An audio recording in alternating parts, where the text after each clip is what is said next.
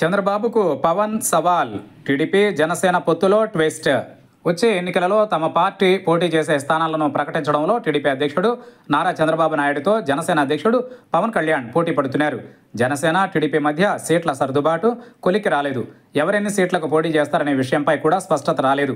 కానీ చంద్రబాబు ఏకపక్షంగా విడతల వారీగా తాము పోటీ చేసే స్థానాలను పోటీ చేసే అభ్యర్థులను ప్రకటించుకుంటూ వెళుతున్నారు.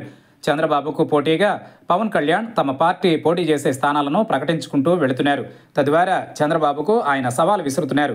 దీనివల్ల ఆయా నియోజకవర్గాలలో ఇరు పార్టీల నాయకుల మధ్య విభేదాలు చోటు చేసుకుంటున్నాయి. చంద్రబాబు రెండు సీట్లు ప్రకటించడంతో మండిపోయిన పవన్ తాము రాజనగరం రాజుల నియోజకవర్గాలలో పోటీ చేస్తామని ప్రకటించారు. రాజమండ్రి రూరల్ కూడా తమకే కావాలని జనసేన పట్టుబడుతోంది. ఆ సీటును తమ పార్టీ నాయకుడు కందుల దుర్గేష్కు ఇవ్వాలని జనసేన నేతలు డిమాండ్ చేస్తున్నారు.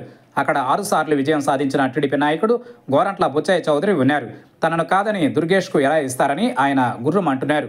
విశాఖపట్నంలో అన్నయ్య నాగబాబుతో కలిసి సమీక్షలు నిర్వహించిన పవన్ కళ్యాణ్ తాజాగా నాలుగు స్థానాలకు తాము పోటీ చేస్తున్నామంటూ ఆ స్థానాల్లో పోటీ చేసే తన పార్టీ అభ్యర్థులను కూడా ప్రకటించారు.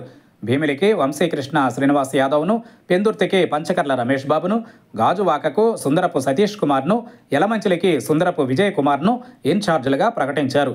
పెందుర్తి జోలికి ఇతరులు ఎవరు వచ్చినా సహించేది లేదని టీడీపీ సీనియర్ నాయకుడు బండారు సత్యనారాయణమూర్తి ఇప్పటికే హెచ్చరించారు. చంద్రబాబు ఓవైపు పవన్ కళ్యాణ్ మరోవైపు ఏకపక్షంగా స్థానాలను ప్రకటించుకుంటూ వెళ్ళడం ఎంతవరకు వెళుతుందనేది తెలియడం లేదు. టీడీపీ జనసేన మధ్య పొత్తు ఉన్నా సీట్ల పంపకం పూర్తి కాలేదు. బీజేపీతో పొత్తు ఇంకా ఓ కొలిక్కి రాలేదు.